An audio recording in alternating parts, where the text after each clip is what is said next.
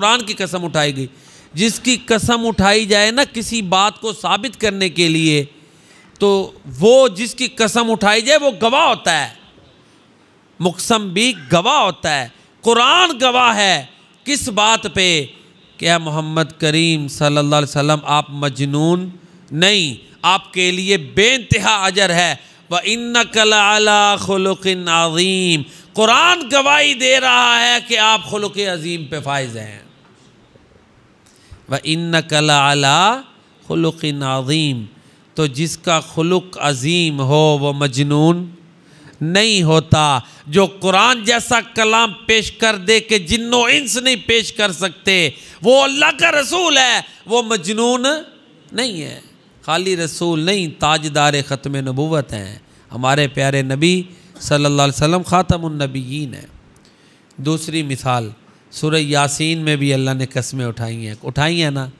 यासीन, आगे, वल क़ुरानिल हकीम। इन नकलमिनल मुरसलीन, अला सिरातिम मुस्तकीम। यासीन, बाज़ ने कहा कि ये अल्लाह के नबी का नाम है, आपको मुखातब किया गया है। ठीक है? वो एक शेर है ना इकबाल का? लफ्ज़ इश्क इकबाल ने अपने ख़ास माना में इस्तेमाल किया है।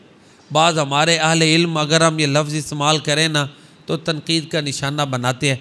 लफ्ज़ इश्क वैसे इसका इस्तेमाल अच्छा नहीं, लेकिन इकबाल ने इससे मुराद वो पकीज़ा मोहब्बत ली है जो अल्लाह और अल्लाह के रसूल की है और जिसके लिए बंदा तन मन धन हर चीज़ कुर्बान कर दे। निगाह इश्क व मस्ती में वही अव्वल, वही आखिर, वही क़ुरान, वही फ़ुरक़ान, वही यासीन, वही ताह। यासीन से मुराद यहाँ इकबाल ने अल्लाह के नबी की ज़ात ली है। क्योंकि बाज़ तफसीर वालों ने लिखा है ना कि यासीन से मुराद अल्लाह के नबी की ज़ात है। आगे क्या है? वल क़ुरानिल हकीम। देखे कुरान की फिर कसम खाई अल्लाह ने। कुरान को गवाह बना दिया बहुत से आल इल्म की ये राय है कि जिस चीज़ की अल्लाह कसम खाएँ, वो गवाह होती है। उस चीज़ के लिए जिस पे खाई जाए। किस चीज़ की कसम खाई गई? किस? इन नका लमीन अलमुरसलीन ए नबी सल्लल्लाहु अलैहि वसल्लम, यकीनन आप रसूलों में से हैं। तो ये भी क़ुरान की अज़मत का पहलू है कि नबी की रसालत पे गवाही किसकी दिलाई? क़ुरान की। नबी खुलुक अज़ीम पे फ़ायज़ है हमारे प्यारे नबी। वो नबी जिसके बारे में कहने वालों ने कहा, शक्ल में अजमल, अक़ल में अकमल, खल्क में अफजल, नुतक में फ़ैसल, जाम मुजमल ख़ुतब अहमद।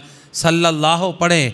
सल्लल्लाहु अलैहि तीनत जिसकी सबसे मुतहर, बेसत जिसकी सबसे मअखर खिलकत जिसकी सबसे मुक़दस सल्लल्लाहु अलैहि वसल्लम, कुफर की जुल्मत जिसने मिटाई दी की दौलत जिसने लुटाई, लहराया तोहीद का परचम सल्लल्लाहु अलैहि वसल्लम, राह में कांटे जिसने बिछाए, गाली दी और पत्थर बरसाए, उस पर छिड़की प्यार की शबनम सल्लल्लाहु अलैहि वसल्लम। तो कुरान गवाह है कि मोहम्मद करीम अल्लाह के रसूल हैं।